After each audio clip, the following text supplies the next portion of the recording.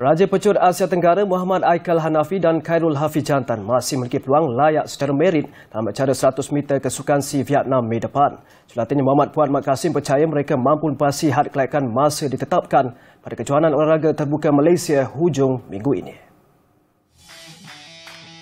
Puan berkata prestasi semasa dipamerkan Haikal dan Khairul Hafiz cukup memberansangkan dalam setiap sesi latihan diadakan di Sekolah Menengah Kebangsaan Gunung Rapat Ipoh Perak.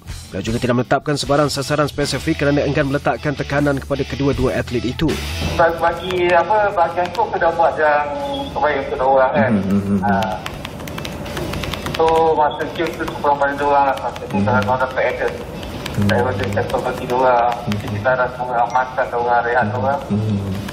Tak ada masalah kalau tak dapat tak ada masalah pada Sukan Si Filipina 2019, Haikal melakar sensasi muncul lelaki terpantas di Asia Tenggara selepas mengungguli acara 100 meter dengan catatan masa 10.35 saat. Ia sekaligus memastikan Malaysia kekal mendominasi acara ribbon biru itu selepas Karol Hafiz merakul emas pada edisi 2017 di Kuala Lumpur dengan catatan 10.38 saat.